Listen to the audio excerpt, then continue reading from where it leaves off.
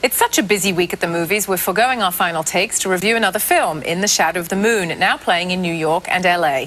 Every surviving astronaut who journeyed to the moon is interviewed in this documentary, save the first and most famous one, Neil Armstrong, the pride of Wapakoneta, Ohio.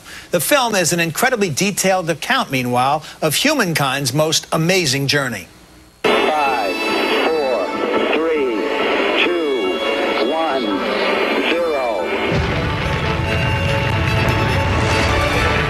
From archival footage to in-depth interviews, the viewer is taken along on the various Apollo flights, and the sense of danger and awe are conveyed vividly.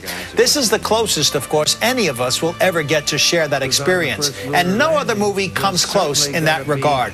Boy, this really whisks you along. The way much better done than Apollo 13 as far as uh, special effects are concerned, but this is the real deal. You get to know these guys up close and personal. I don't know why. Maybe they couldn't find Wapakoneta, Ohio. They couldn't get Neil Armstrong who, who's very, very private. But that doesn't matter. It is an incredibly exciting film at a time when that really united everybody Yeah. during an otherwise turbulent decade. I think Neil Armstrong's feeling is that he doesn't want to take all the glory for being the first man on the moon, that a lot of other men walked and, and a lot went up into space. But yeah, like you said, Mike Collins, one of the astronauts who I'd never heard of, is hysterical Right. and funny. And the footage, I mean, what I remember about seeing that, that footage is the black and white grainy stuff from the moon. But this film is filled with, with glorious color shots from the rocket looking back at Earth. Footage they uncovered at NASA, and they synced up mission control with some audio footage they had. So you feel like you're at mission control, just like in Apollo 13. And when you look at the 1960s and 70s computers, you realize how much Oh, more difficult when you look at the been. lunar module Yeah. landing, you think it looks like a tin can. How did they possibly do it? An incredible movie. Well, thanks for watching Reel Talk.